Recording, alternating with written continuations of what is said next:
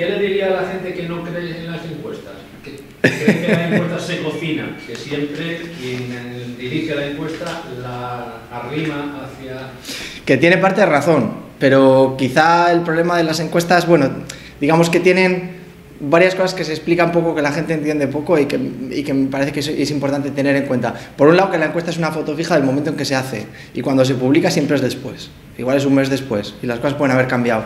Y después, una cuestión estadística que tiene unos márgenes de error y los márgenes de error significan mucho más de lo que parece. No estamos hablando de que se pueda mover una décima, estamos hablando de que una encuesta bien hecha puede tener un margen de error del 3%, y eso quiere decir del más menos 3%. Quiere decir que el resultado de un partido puede estar entre el 5, el 8 y el 2, y que cualquiera de las probabilidades en ese arco pues, eh, son similares. O sea que realmente las encuestas tienen unas limitaciones técnicas per se, eso no quita para que sean una buena herramienta para conocer el estado de las cosas, sobre todo porque no tenemos otra, pero tienen limitaciones. Y ya luego, como, habiendo trabajado como encuestador, eh, también las veo claramente, porque ves la calidad de una encuesta y de otra a veces muy diferente. Hay gente que responde poniendo atención, con cierto interés, reflexionando las respuestas, y hay gente que responde por lo primero que se le ocurre. Lo que pasa es que bueno, la acumulación de respuestas hace que todo adquiera cierto sentido. A mí como herramienta me parece interesante, pero tiene sus limitaciones y a veces políticamente también se utiliza y es eh, peligrosa en ese sentido. Vamos a seguir con esto de la encuesta que me interesa. a ver, para tener unos resultados mínimamente eh, creíbles de fideligno, con un margen de error pequeño, en Cantabria, ¿cuál es el mínimo número de encuestas que hay que realizar? Depende del muestreo, o sea, el diseño de cómo quieras mm, estructurar la muestra que utilizas, pero con menos de mil, encuestas no lo puedes hacer. Con menos de mil no lo puedes hacer en Cantabria las encuestas electorales que se publican generalmente, estoy hablando un poco de memoria, ¿eh? pero generalmente tienen en torno a 600, 700, 800 encuestas, que son pocas, eh, porque tienen márgenes de error muy grandes. Y luego hay que tener en cuenta que las estimaciones de los partidos grandes son más sencillas que las de los pequeños. Entonces, estimar, por ejemplo, quién va a ganar, eh, si hablamos de la primera fuerza, mm, es relativamente fiable. Dentro de los márgenes es relativamente fiable. Pero estimar quién va a entrar, por ejemplo, esos márgenes pequeños, o si alguien va a sacar tres o cuatro escaños. Eh, es bastante complicado. Yo creo que una buena encuesta en Cantabria tendría que tener en torno a 1.500 o 1.600 encuestas para, para, para lo que queremos, ¿eh? que es estimar porcentajes de voto, claro. Por teléfono. ¿Es igual el número ese de 1.500 se haga por teléfono o se haga personal en la casa? O, Es igual, ya es una cuestión más de calidad del, del muestreo. Mm, es mejor una encuesta vamos, y además yo creo que esto es un consenso, lo que pasa que es una cuestión de precio, de lo que vale hacerlas. Es mejor una encuesta en casa, porque es más sencillo de entrada comprobar que la persona tiene el rango de edad, eh, el género que dice que tener por teléfono y tal. Es más sencillo. Eh, encuentras a gente más variada también haciéndolo por las casas. Las encuestas telefónicas tienen algunos sesgos por los horarios de trabajo, por ejemplo, si llamas en horario de trabajo es más probable que encuentres a personas desocupadas o personas que se dedican a labores pues que no tienen un horario fijado, eh, gente de otros rangos de edad. Eh, se puede, son problemas que se pueden solventar poniendo medidas, pero en principio tiene más calidad una encuesta presencial. Lo que pasa es que ya no se hacen, porque eh, yo trabajé en el CIS, pues hará ya, la última encuesta que hice hará 5 o 6 años, fácilmente, y eh, cuando llegó el COVID se abandonó la metodología casa por casa.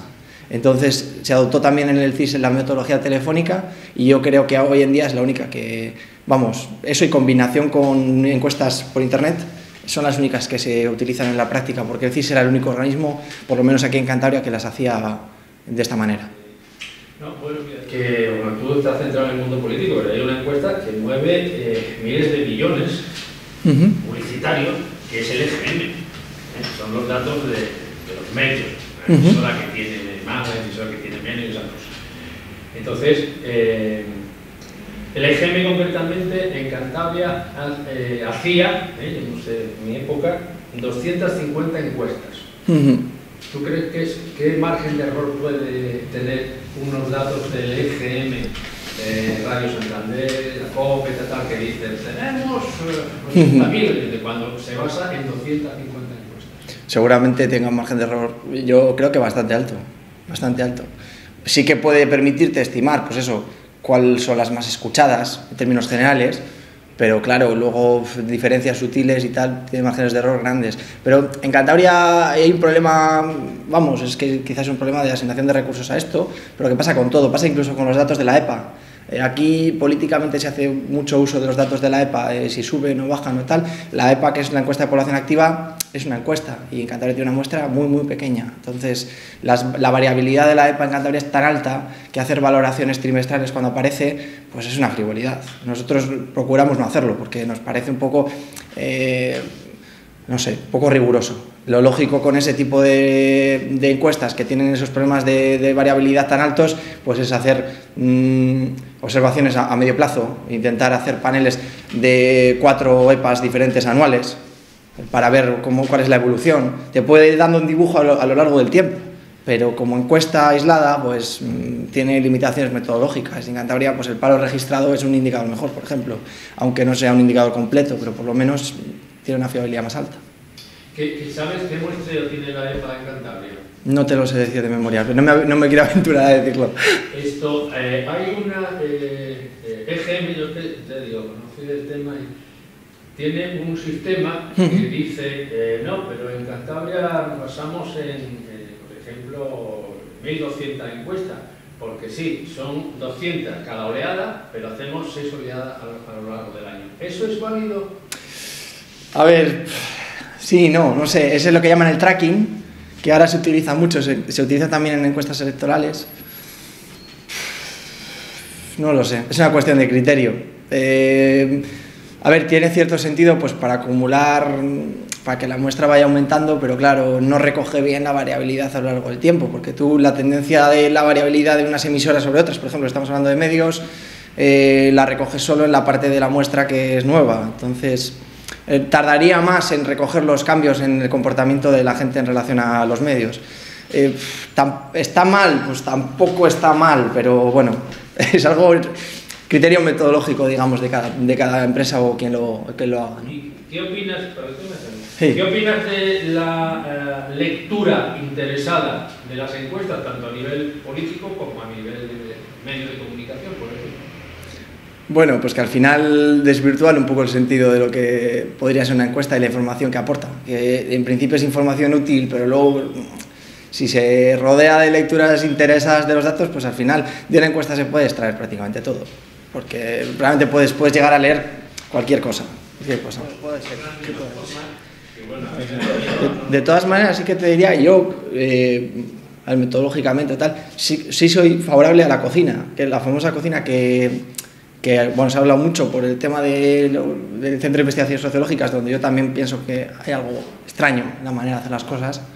Eh, pero yo en la cocina sí estoy a favor porque me parece que tú tienes que ofrecer la, intención directa de voto, por ejemplo, en una encuesta electoral. Me parece lo, lógico, ¿eh? que la ofrezcas también esa información y que las personas que lo vean puedan valorar simplemente con la intención directa lo que hay.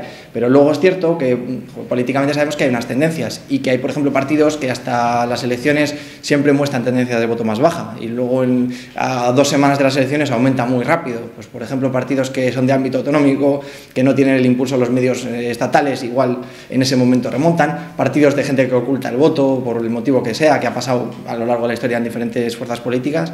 Y eso, lo lógico es que una interpretación y profesionales que puedan interpretar la realidad un poco más allá de los datos, pues puedan aplicar esas correcciones sabiendo lo que ha pasado en elecciones anteriores, pues para que el resultado se parezca más a la realidad. Y yo eso no lo veo mal. El problema es si se utiliza políticamente la cocina o si se hace de una manera torticera, ¿no?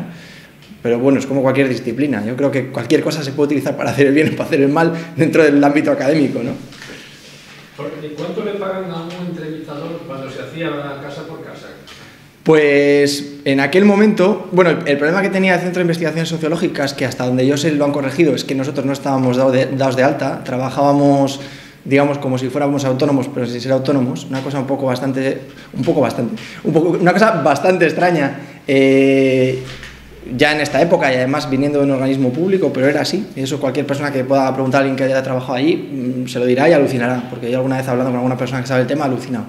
Eh, pero no se pagaba mal, o por lo menos yo no lo recuerdo, yo no recuerdo que pagaran mal. Recuerdo que una encuesta básica, las más breves, podían pagarnos en torno a los 9-10 euros por encuesta.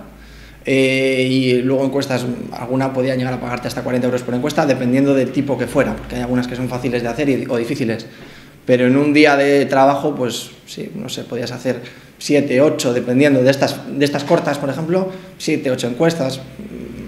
No salía mal. Yo que lo he compatibilizado con estudiar y luego lo he compatibilizado con trabajar, a veces por la mañana una cosa y por la tarde encuestar, eh, no salía mal de dinero. Lo que pasa que es un trabajo muy duro.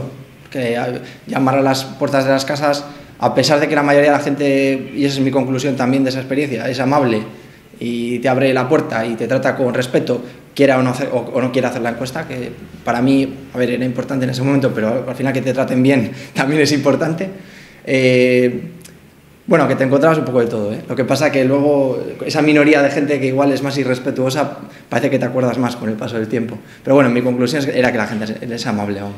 ¿Y en las encuestas telefónicas cuánto pagan? Si te digo la verdad no lo sé, porque nunca he trabajado de, de haciendo encuestas telefónicas, pero me imagino que bastante menos, ¿eh?